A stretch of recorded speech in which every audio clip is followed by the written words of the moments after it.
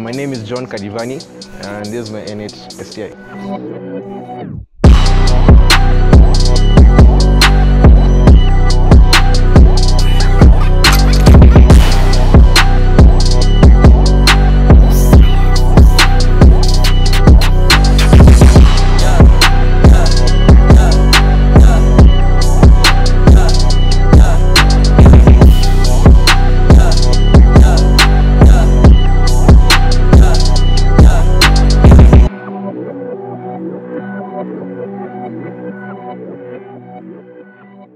Today we're at Baba Shiro Motorsports, joined by John again. He has a beautiful Wagon STI. Wagon STIs are pretty hard to come by. In my life, my short 21 years, I don't think I've seen too many wagons. So John, tell us how you came across such a beautiful car. Um this is of sentimental value. I was given as a gift, and as you say, in the rare to come by. Um, according to my research, basically it's between the range of 200, 500 of them. Um, for the wagon, STI model of the Bugeye, and basically after the Bugeye, there was no other wagon through the the Blobeye and the Hawkeye. Because the other wagon I normally see is the GC8, which is should be the older version Yes, of this. yes. So tell me how your journey started, because photos I've seen of this car back in the day, I think around 2012, 2013, the car was pretty much stock. Yes. So tell me how you got it to being what it is today. Um, basically, as you all know, life's a journey, Yeah. and basically, even you, from the day you are a small toto to date, Yeah. many changes that have happened. Uh, originally, the car was blue and yellow with many, many, many stickers. Yeah, and to date, as you can see, it's reached here. Uh, looks nice. More, more coming to it. Really? Yeah, more could coming to it. possibly do? Uh, so recently I got uh, an, an N12 STI engine that was broken and I'm basically forging it and also in line there's a new setup coming in uh, that's uh, 3582 uh, Garrett 3582 but it'll be the GT version and also wanted to change the external wastegate to a TiAL um, uh, 38 millimeter Anyway, so uh, I'd like us to have a look under the hood. Uh,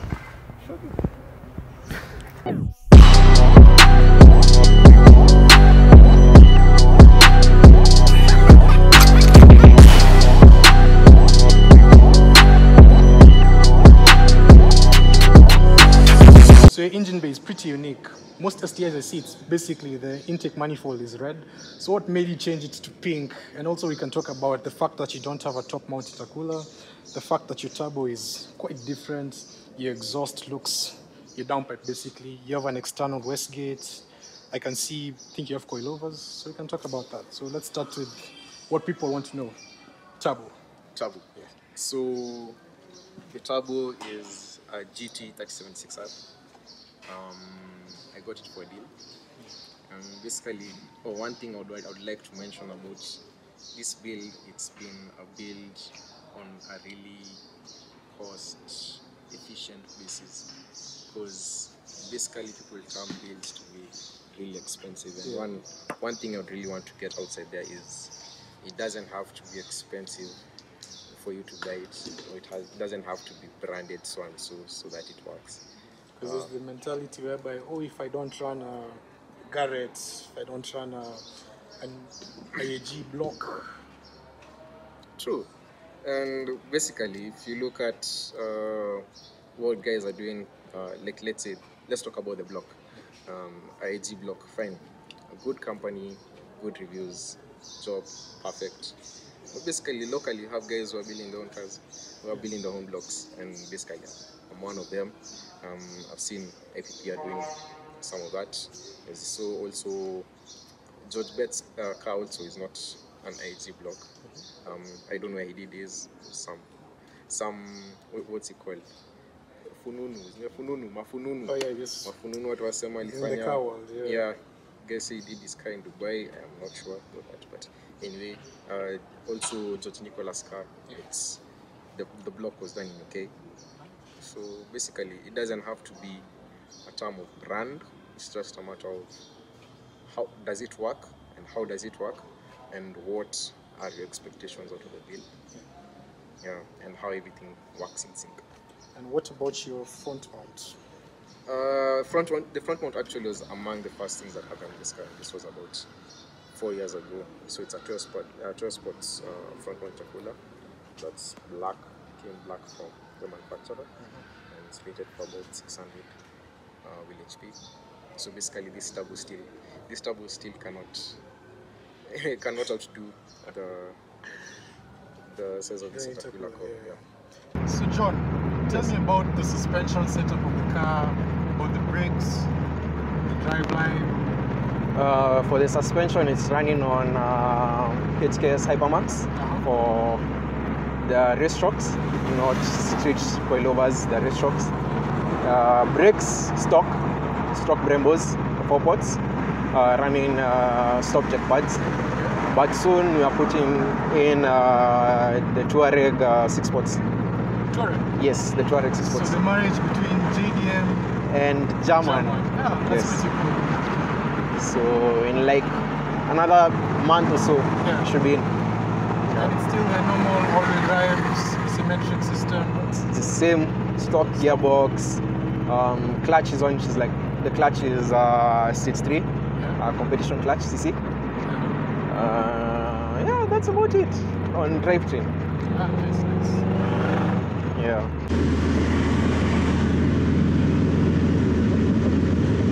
There you feel like you can just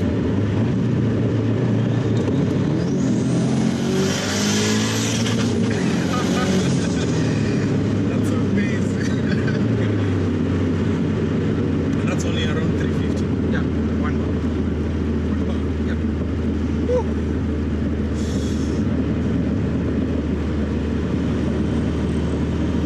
It actually hits you. Yeah, it just comes in like, oh, Oh, you're proud.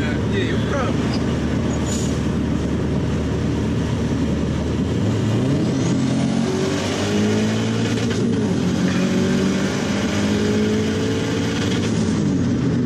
And the brakes are amazing. The brakes are perfect. Uh, this is such a cool car. We'll go through the other one. Yes, of course. I think I can get used to this TI. Yeah, this is not, it's not bad. No, it's not bad. It's just you know, the drivability. It's as smooth as what we're used to.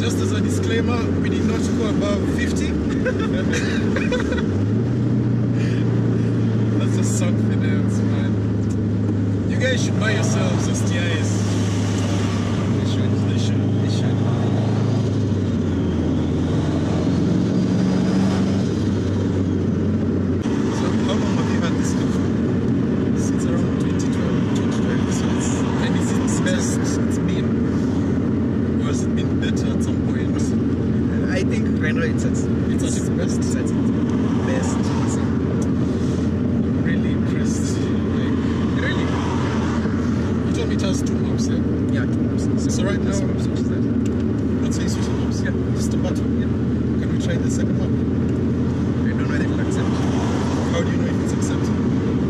Because the power, I don't know whether it will let. It's not sure. I'm thinking less because there's usually some additive usually add into the fuel. Yeah. So that it doesn't let.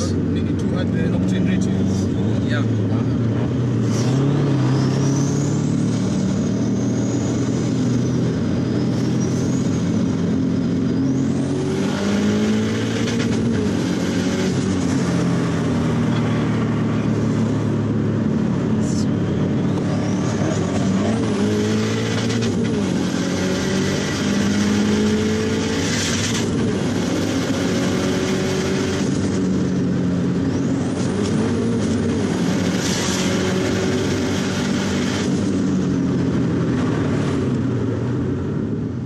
So John, I'm really thankful for letting us review your car today.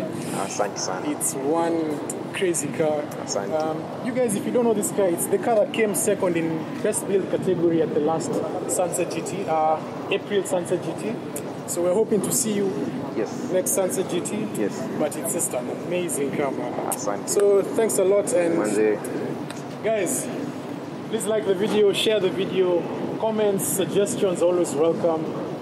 Thank you.